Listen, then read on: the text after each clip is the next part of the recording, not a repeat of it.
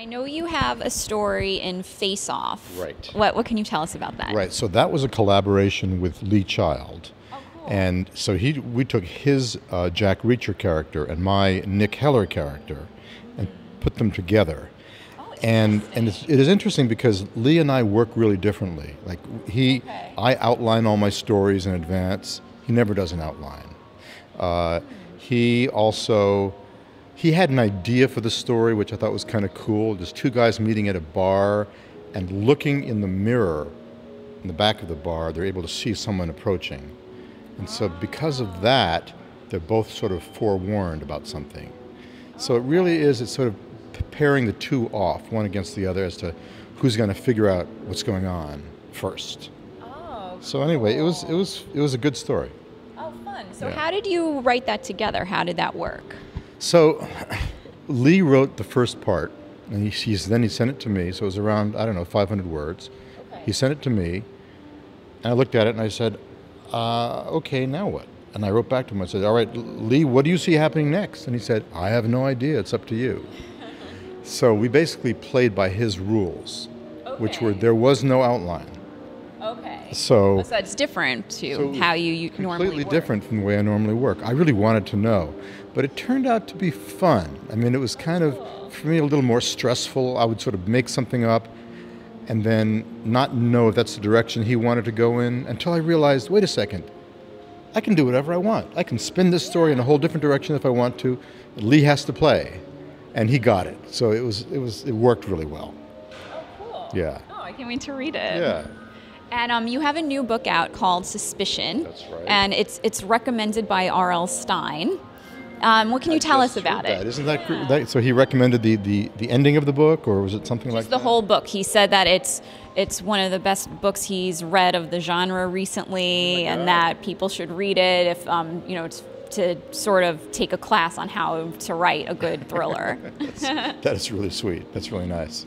And he said he's told you though that it's one of the best books you've ever written. Yeah, but, But I sort of figured he told if he tells if he tells a class in public, that's Yeah, that's a whole different deal. Yeah. I figured he was telling me to make me feel good. I, I didn't know. Yeah. yeah. And he said that you agree that you said yes, I, it, it is one of the best books I've written. I said it was one of the best that I'd written. Yeah, yeah, Yeah, that you've written. I thought it was the best that I'd written. Yeah, I mean, I sort of feel that you have to keep getting better. Yeah. And you know, this was that was my eleventh book, and with Okay. each book, I try to do something different. I try to make it better than the last one, and not get stuck in a rut. Yeah.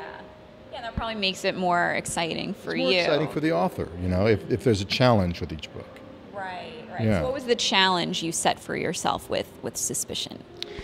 I wanted this to be pretty much a, a, a, a sort of a love story between a father and a daughter, and within a thriller.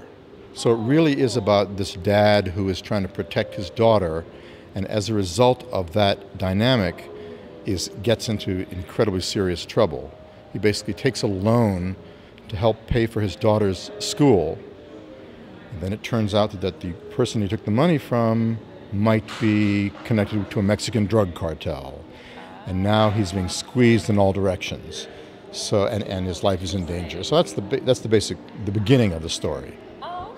Yeah. Oh, Yeah. Yeah, that sounds intriguing. Yeah. Now, did you do a lot of research for that on Mexican drug cartels? I did. I did. I, what I do is I talk to people who know a lot more than I do. I talk to people in the DEA. I talk to uh, people who would, were in the agency and people who used to be in the agency, and I would say to them, "All right, now, what would happen at this point? What would a character do? What would a DEA agent do? Try to make this as real as possible for me. The reason I do this is because I want to basically get plot ideas from these guys. Really, it's, it's the greatest way to sort of figure out a new angle, a new idea for a scene, is to talk to someone who's actually been through it. Right, right. Yeah. Oh, that's a great idea. Yeah, Very interesting. yeah. And now I know a lot of your books have been turned into movies, like High Crimes. Right. High Crimes with uh, Morgan Freeman and Ashley Judd was based on my book High Crimes, and a movie called Paranoia with Harrison Ford and Gary Oldman and Liam Hemsworth came out last summer. That was also based on my novel Paranoia.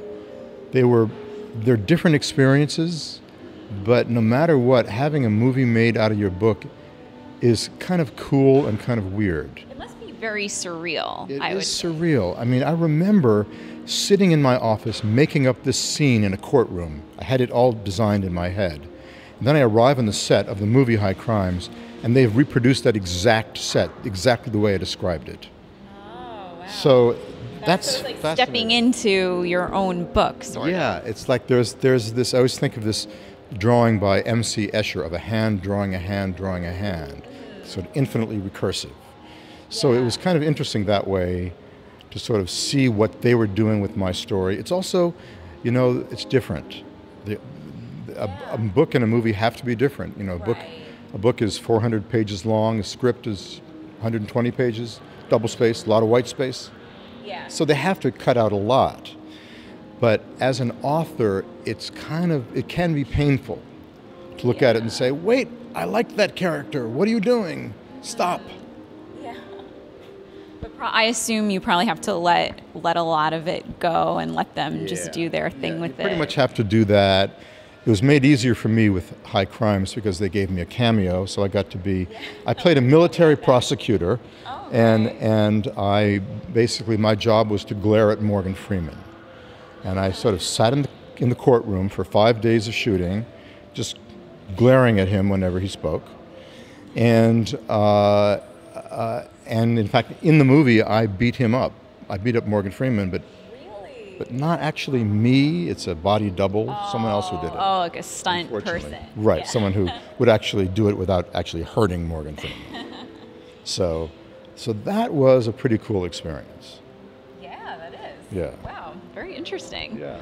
And um, now I know you said you, we've been talking about ThrillerFest, which we're at now, and that you you've come here every year since the beginning. How has it changed? Yeah. changed?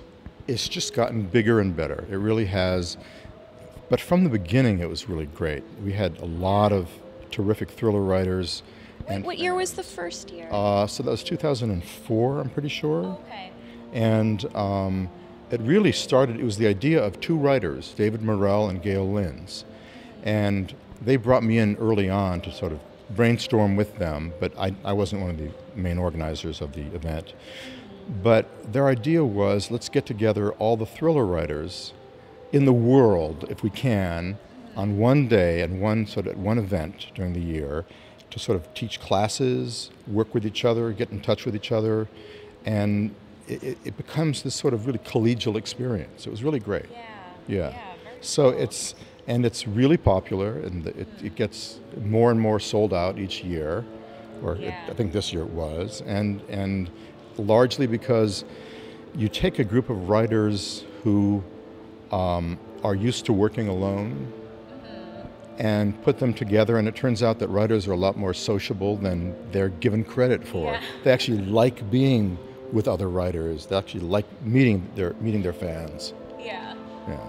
Oh, very cool. Well, thanks so much for speaking with us. This is great. Thank you.